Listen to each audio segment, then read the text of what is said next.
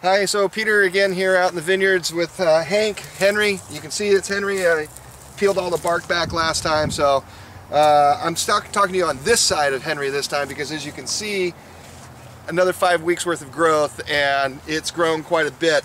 Um, you can see very clearly last time we were out here at flowering, now we're at bunch closure, so all the berries have had uh, opportunity to set and grow into the, the, the clusters. I mean, we got a lot of clusters here um, showing.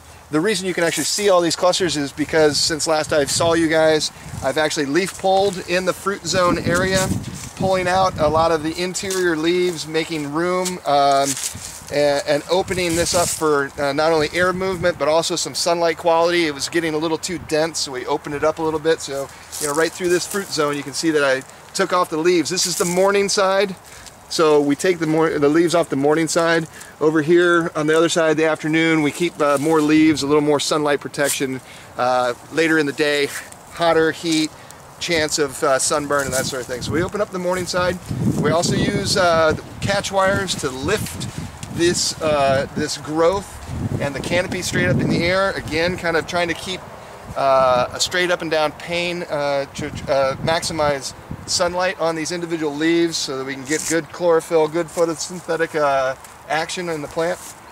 Um, what we're going to do next is come back here. It's probably going to be another five weeks uh, or so, uh, mid-August, that we're going to start seeing what we call veraison, where the berries actually start softening, uh, start seeing the color change. This is Chardonnay, so it's going to be a subtle change. It's not like going from green to red grape.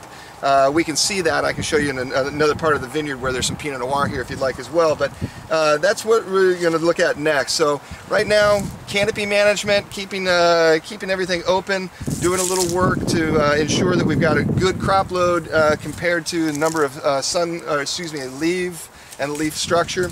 and then veraison comes next, bird netting, and into harvest probably looking like uh, early October. So we'll continue to see you uh, again. Thanks.